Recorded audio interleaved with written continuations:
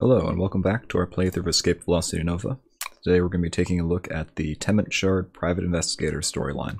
So I've loaded up a generic pilot here named Columbo, and I've changed up the usual outfitting we usually like to do with these generic pilots. So instead of railguns and fusion pulse batteries, I've switched out for hail chain guns and thunderhead lances. Just because I've come around to the way of thinking that this gives you guys a better view of the action instead of just seeing me fire railguns from a range.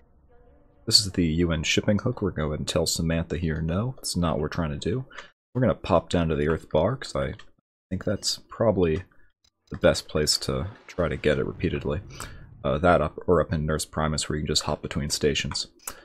Now, this is a random chance to occur from any Federation bar. I believe it is a 45% chance to occur once you pass a certain threshold for required combat rating.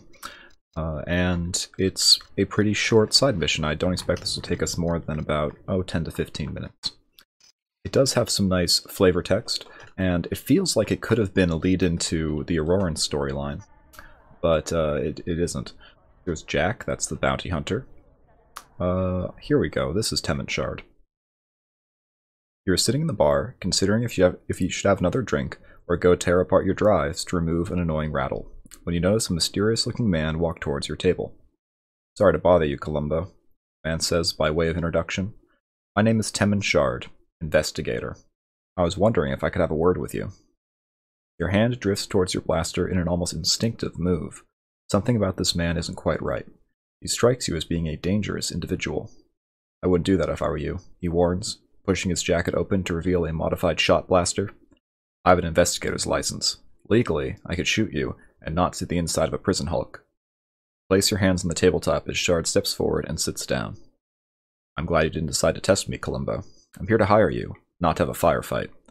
I have been hired by the Federation government to track down some stolen Vell-os artworks. They were stolen from the First Federal Gallery and Museum on Sol. The feds have hired me to track them down and return them intact.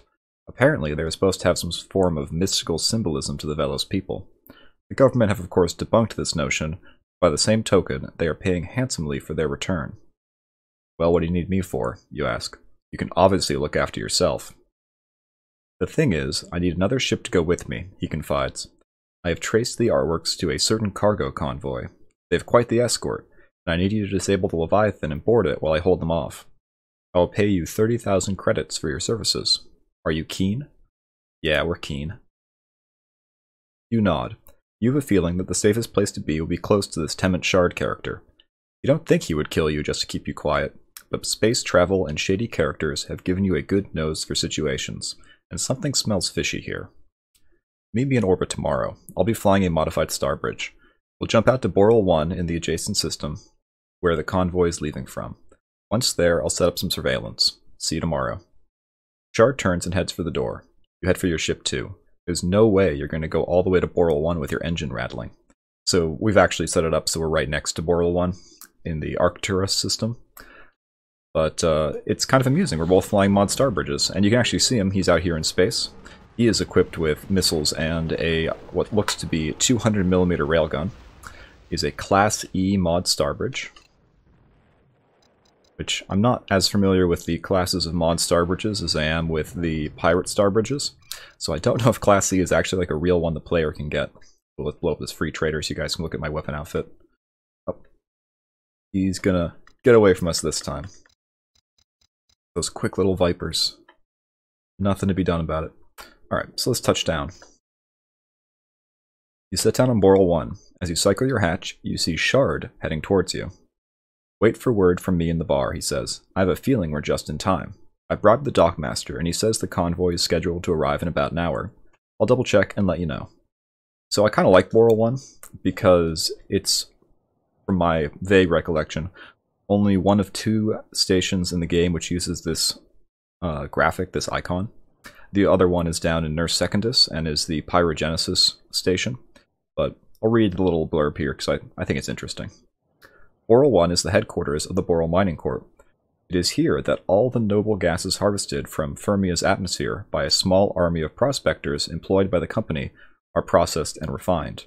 So far, Burl survived in the fiercely combative universe of commerce by staying small enough that they remain beneath the notice of the larger, more professional mining companies. So I guess this station is just kind of the standard for mining companies because the Pyrogenesis station is also mining a gas giant. Another thing I find amusing is you have the small Sigma Shipyards shuttle right here, but this is, I believe, the front or the back of a Leviathan. So just from perspective, it makes them look roughly equivocal in size, when in reality that's probably a thousand times bigger than the shuttle. Alright, so let's go to the bar and see what Temmin wants us to do. You spend a half hour waiting before a message beeps on your wrist comp. You quickly run your decoder over it and scan the message. Shard wants you to take off straight away and meet him up top. The message ends with a cryptic question, asking if, if you are really sure you are ready to take on the job. You wonder what's going on. You resolve to ask Shard the first chance you get. But then, should you just message back that you have engine problems and decline to help him? Do you take the mission? Yeah, we're going to take the mission.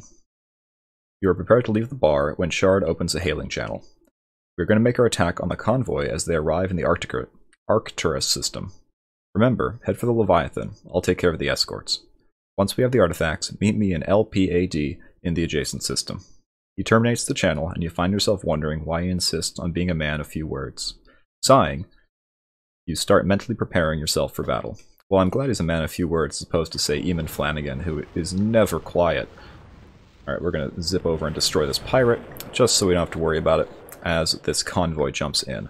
So you see, those of you who are paying attention might see that the designation is Federation on all of these, which is a little bit weird, because we thought he was hired by the Federation. Alright, we're going to have to be really gentle here, because these Thunderhead Lances will just destroy him. Alright, we're going to board him. We got it, and we're going to jump away before that uh, Federation support fleet comes through, because if they have Vell-os, we have problems. But that was pretty smooth. Alright, this is also a pretty interesting station, and I'll read the blurb for it as well. You land on LPAD with flush of success on your cheeks. However, you are still surprised that the feds attacked Shard. Cycle the hatch and head out to find him. You meet Shard walking through the abandoned LPAD spaceport. For the first time since you met him, he is smiling. Well done, Columbo, he beams. That was a hell of a fight, wasn't it? You nod, telling him that you haven't seen flying like that before. I've had some pretty specialized training, he says, but for the moment I'll just say that things aren't always what they appear. You look at him, bemused. I know I can trust you now, since we are in this together, he confides. I am not working for the federal government. I'm working for a third party keen to see the artworks return to the Vell-os. You suddenly begin to see the light, why the feds attacked Shard, and why he has been so secretive on the whole journey. I'll meet you on your ship in 20 minutes. I'll tell you everything there. 20 minutes later, you cycle the hatch closed. Shard sits down and produces a bottle. I have something to tell you, he begins. I am not a freelance investigator. I am a deep cover operative working for the Heraan House. So that's the Auroran house that the player would be in if you do the Auroran storyline. The most noble house in the Auroran Empire. You are stunned. While you knew there was something strange about Shard, you would never in your wildest dreams have considered this possibility. I have been in Federation space for 15 years now, he continues and have been sending information to and doing missions for the Heraan House the entire time. My father was a Thurikir of the house, and I am a shard of his obsidian heart. You want to know what those means? Go and watch the Auroran storyline, up on the channel now. The artifacts we have liberated rightly belong to the Vell-os, and, contrary to popular belief, the Aurorans do look after people other than their own. I've approached you because you have shown yourself to be a man of honor. Not to not treat you as such would be a great insult. Therefore, your record with the Federation will never show your involvement in this heist, nor shall the Federation ever know of your involvement here. You ask Shard why he trusts you so much, considering the fact you could sell him out to the Federation at a moment's notice. His eyes turn cold. Firstly, he says, I know that you have never sold out an individual before. To do so would be an incredible change of personality for you. Heraan Intel agrees with my conclusions. You may think that you are anonymous, but your federal file was an open book to us. The feds have not even encrypted it that heavily. Secondly, if you were to sell me out, as you put it, takes a sip of his drink, eyeing you over the rim of his glass. The early warnings I have set up would give me ample time to escape the Bureau Snatch Squad sent to capture me, and a number of Heraan hit teams would continue to hunt you down wherever you went until you were dead. Only you would be in a position to betray me, no other. You quickly tell Shard that you would not betray him, not because of the threat of Heraan retribution, but as a matter of honor. He smiles. I know that, Columbo. If you ever go into Heraan space, know that you'll be treated with the respect you deserve. He stands, grasps your hand, collects the artifacts, and leaves you a credit chip. Part of you is sorry to see Shard go, but another is glad to be out of his immediate orbit. Danger follows him like a ghost, and, for a little while at least, you'll be glad not to be in the firing line. So there we go, a nice little storyline. It really is just those, um, you can call it two missions, it's really just one mission. But it's a little bit interesting, and it's kind of a nice intro to uh, getting the player familiar with the Heraan House if they haven't done, say, the Bounty Hunters or the United Shipping missions go and be introduced to Auroran space. So, LPAD. This is kind of an anomaly because it's a it's a dock which doesn't have any services. You can't even recharge here, but you are allowed to land on it, which is kind of peculiar. So LPAD was a uh, propulsion research lab in the days before drives were perfected for sublight travel. According to rumor, researchers on the station actually came up with a remarkable new design for sublight travel that would reduce fuel requirements to a 20th of the current value. However, Pyrogenesis swiftly executed a hostile takeover of this system and quietly terminated the project for fear of having their revenues for raw gas mining slashed. LPAD still has backup power, but anything of great worth has long since been removed by Pyrogenesis Corp. So there you go. And I don't think... Well, actually, Harbor does use the same graphic, this graphic here, um, but I don't think any of them use the same vignette, which is kind of neat. It's nice finding those unique things. Uh, there's also a bunch of pirates in the system, and this is a convenient system because you can essentially reload the ships in the system just by landing and taking off from that abandoned station. So if you really need to grind up your combat rating or you want to do some capturing, this is the place to do it. Alright, and that's Temmin Shard. That's really all there is to it. So thank you for joining me for this one. It was short and sweet.